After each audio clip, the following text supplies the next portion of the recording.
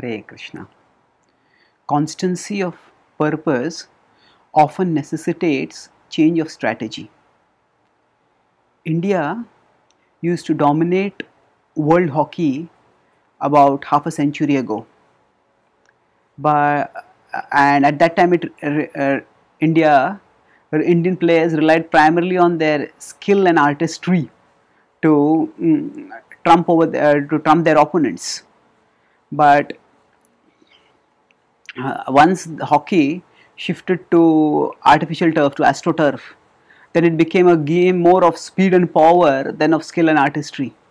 And because Indians couldn't cope with this new uh, reality of hockey, uh, the new way in which hockey was being played, the Indians soon descended from supremacy to mediocrity in hockey. So this historical example demonstrates that actually the same the purpose may be the same to win in hockey, but if the if the circumstances change, if the surface changes, then strategies that may be required will be are required will be different. So this principle that change of circumstances calls for change of strategy even when the purpose remains unchanged.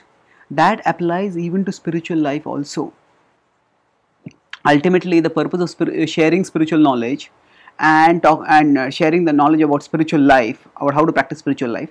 The purpose of that is to help people connect with uh, krishna the supreme spiritual reality.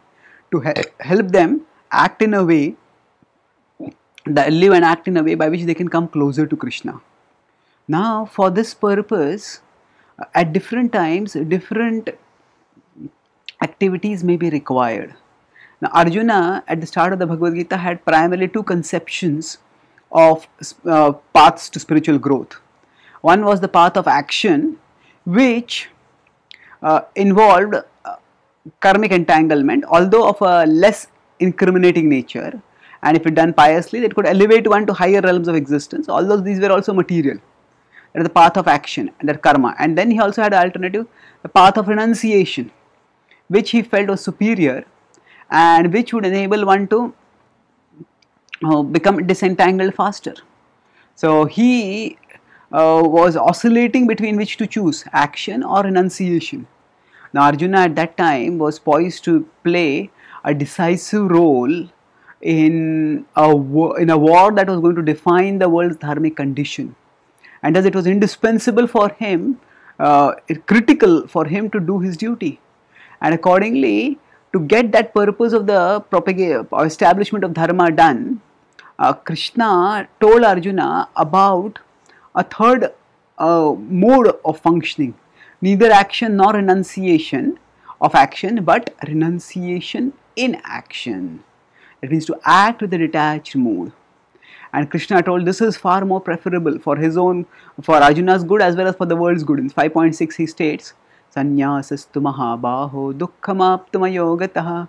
योगयुक्तो मुनिर्ब्रह्म न चिरेणाधिगच्छति He says that those who act with detachment and those who renounce artificially they sometimes become miserable but those who act with detachment they happily advance towards liberation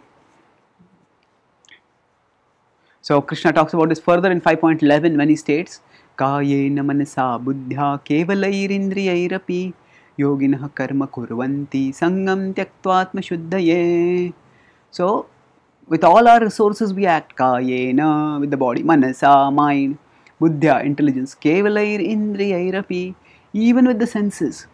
Yoginah karma kurvanti. The yogis act, but for what purpose? Sangam tyaktvatma shuddhaye. They give up their attachment and they act for self purification. Sangam tyaktva atma shuddhaye. So in this way, by acting for Krishna's uh, for purification, we can all move towards liberation. And Krishna recommended Arjuna perform such action. So now this detached mode of action is what is required in today's world. And although because of science and technology, externally today's world, the situation is radically different from that in previous ages. So today, modern bhakti practitioners to fulfill, to have the same constant purpose of sharing knowledge of Krishna and providing facilities for people to come closer to Krishna. But for that, they may use a change of strategy. That is, instead of telling people to go to the forest uh, uh, to renounce the world uh, because there are no very very few people who are ready to do that actually the wisdom of the scripture is brought home is brought to people not just uh, very easily but on their homes and in their phones by using technology by using internet by using social media and the purpose of this remains the same. Uh, that is to bring people bring krishna close, closer to people and bring people closer to krishna. And um, this way the change strategy of using technology uh, and the fruits and other facilities of modern society uh, for bringing people to clo closer to krishna helps in maintaining the constant purpose of elevating individual and global consciousness towards spiritual devotional consciousness. Thank you. Hare.